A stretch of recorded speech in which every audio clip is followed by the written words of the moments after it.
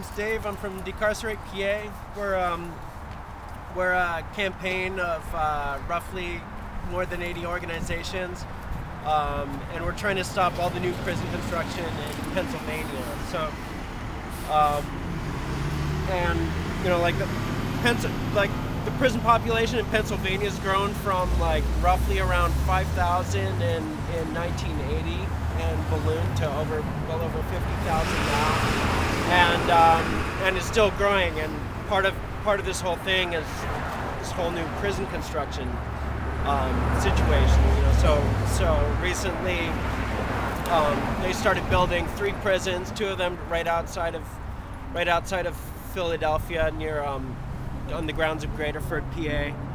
And um, we, we recently did an action to try to stop construction um, one of the days, and a bunch of us got arrested.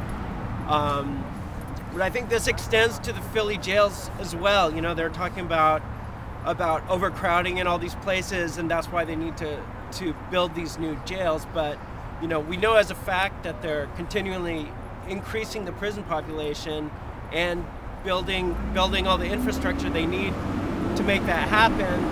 Um, and we need to stop that.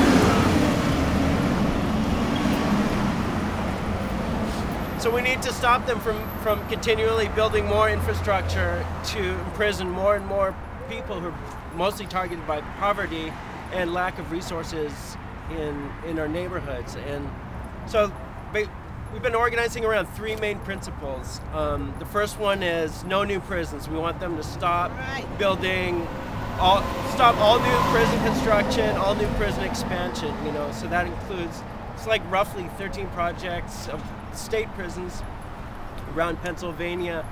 Um, you know, but that, that really should be extended to, to the jails. They talk about overcrowding in the jails. Um, and what we really need to do is fight fight the, the increase in the prison population and the jail population, period. Um, so that brings us to our second point that we're organizing around, which is which is decarceration. So we want to shrink the prison population as much as possible. You know, I, I think I think I think a really good first step for any legislator or any state to focus on is is as a first step bring us back to a 1980s prison population, you know, where we had where you know like there was already a huge prison population, but it was a tenth less than a tenth of what it is now. So, you know, part of that is part of doing that is, you know, like to, to repeal some of the hard on crime legislation that targets poor communities in Philadelphia and Pennsylvania in general.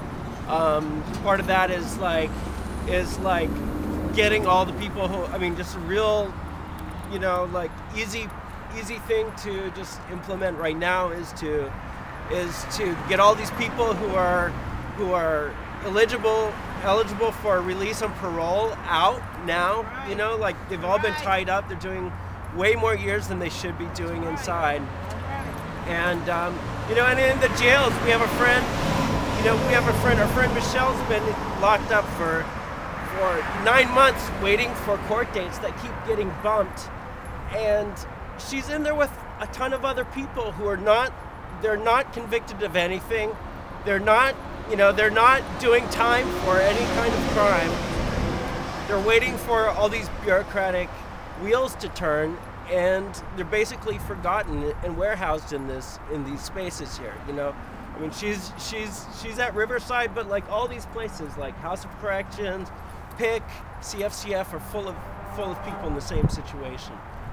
Um, and a third point that we're organizing around is reinvestment in our communities, and that includes, you know, they're spending they're spending millions and millions and millions. I mean, I think I think the prison budget, you know, is is expected to go over two billion dollars. I think this this coming budget, which is insane. That's all. That's all like. Um, those are all resources that are being stolen from our, our communities, you know, like that are keeping people in poverty.